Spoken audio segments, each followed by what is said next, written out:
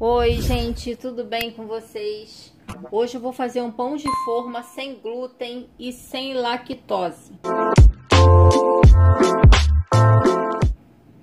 Vou falar primeiro sobre os ingredientes e algumas substituições que vocês podem fazer para estar tá fazendo esse pão. Aqui eu tenho 75 gramas de farinha de arroz. Essa farinha de arroz pode ser integral ou a branca. Dê preferência para integral, porque você vai estar tá colocando mais fibra no seu pãozinho. Eu tenho aqui 150 gramas de polvilho doce e 75 gramas de farinha de aveia, que você pode substituir por farinha de linhaça Pode substituir por farinha de oleaginosa, farinha de castanha, de amêndoas. Três ovos. 200 ml de leite. Eu estou usando da Piracanjuba, sem lactose. Você pode substituir o leite por algum leite vegetal ou por água. Duas colheres de sopa de azeite ou óleo de girassol sal, eu vou usar uma colher de chá de sal, goma xantana, eu compro na zona cerealista, fermento biológico, é importante eu falar sobre o fermento biológico porque muitos contêm glúten, então vocês devem ler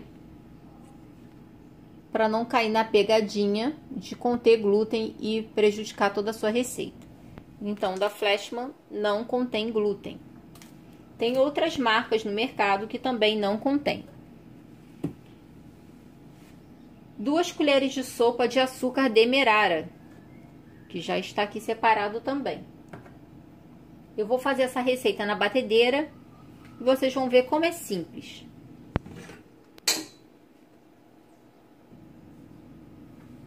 Primeiro eu vou colocar todos os ingredientes secos.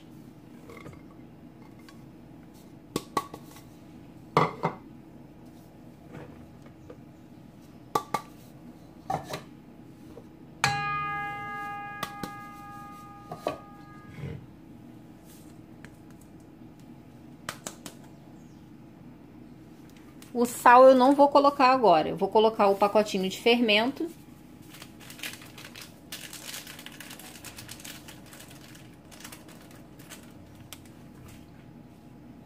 Vou colocar meia colher de chá de goma xantana. Vou misturar esses ingredientes.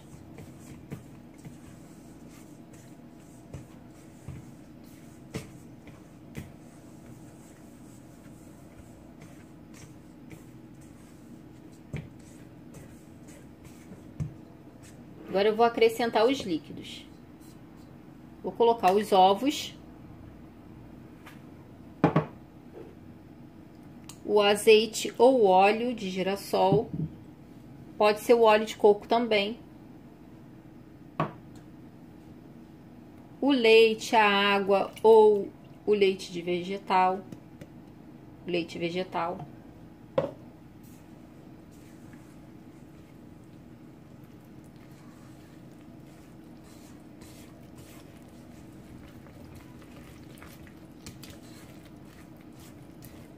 Dar uma misturada assim para poder bater e não ficar voando nada pela cozinha.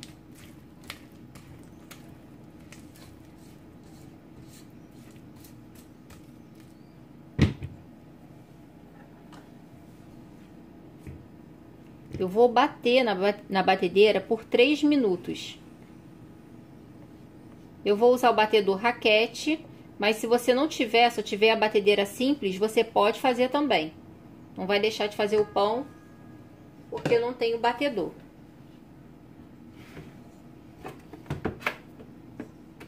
Três minutos em velocidade alta.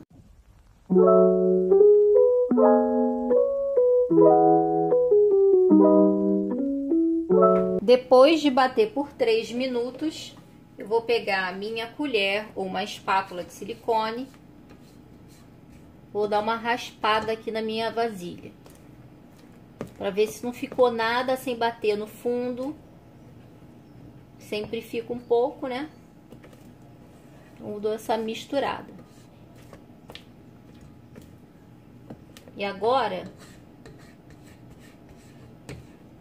eu vou colocar o sal. Porque se eu colocar o, o sal junto com o fermento, esse sal vai matar o meu fermento. Então, aqui tem uma colher de chá de sal.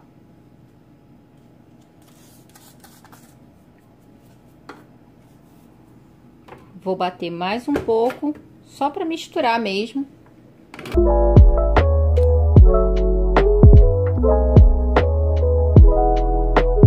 Como vocês podem ver, é um pão bem fácil de fazer, é um pão de forma, de massa mole. Não tem como moldar esse pãozinho.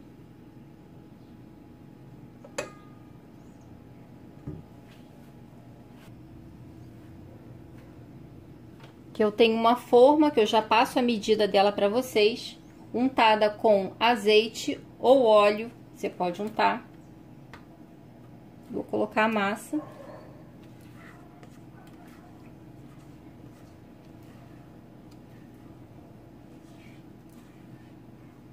Lembrando, gente, que a farinha de aveia, ela tem que ser sem glúten.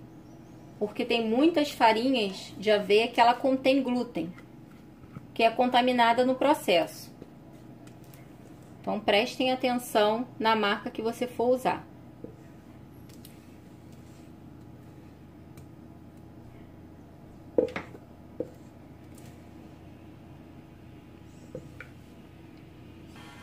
Agora, eu vou cobrir a minha forma com plástico filme. Você pode botar um pano limpo ou um saco plástico também, daqueles rolinhos. E deixa descansar por 20 minutos. Já ia me esquecendo. Caso você queira fazer esse pão sem glúten e vegano, você vai substituir os ovos por uma colher de sopa de semente de chia e três colheres de sopa de água. Essa quantidade vai ser para cada ovo e você vai deixar descansar por 15 minutos e vai utilizar na receita. Lembrando que para fazer esse pão vegano, você não vai usar o leite zero lactose. Você vai substituir por leite de aveia, leite de coco, água, um suco de maçã. Enfim, fica essa dica aí para quem é vegano. Agora vou deixar meu pãozinho descansar. Olha, gente, como ele cresceu depois dos 20 minutos de descanso. Eu vou levar ao forno. Você pode fazer um corte nele no meio. Não fica muito marcado porque é um pão de massa mole. Você pode colocar aveia por cima. E outra coisa também, quem não quiser fazer esse pão de aveia com aveia, você quer fazer um pãozinho desse de forma branco, você vai colocar, ao invés de 75 gramas de farinha de aveia e 75 de farinha de arroz, você vai tirar a farinha de aveia e vai colocar 150 gramas de farinha de arroz. Agora eu não vou colocar nada em cima e vou levar para assar em forno pré-aquecido a 200 graus por aproximadamente 35 minutos. Vai depender do forno de cada um. Então, gente, aqui está o pão depois de 35 minutos. O tamanho da forma 33 por 13 por 7 de altura. E é muito importante frisar que o pão sem glúten não deve ser partido quente. Ele tem que esfriar completamente para poder partir, cortar o pão. Durante esse processo, ele ainda vai co é, cozinhando. Ele ainda está em processo de cocção enquanto ele está quente. Então, não pode cortar o seu pãozinho quente, sem glúten. Tem que esperar esfriar. Agora, gente, eu vou cortar para vocês verem. Ainda não esfriou completamente, mas já dá para ter uma ideia do que ele é.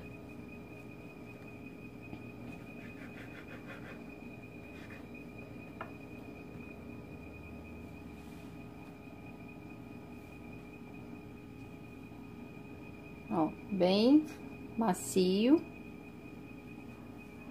Tem cheiro de pão, textura de pão e cara de pão. Então é assim que tem que ser. Compartilhe esse vídeo, dê o seu like e não esqueça de se inscrever no canal. Beijo, tchau e até o próximo vídeo.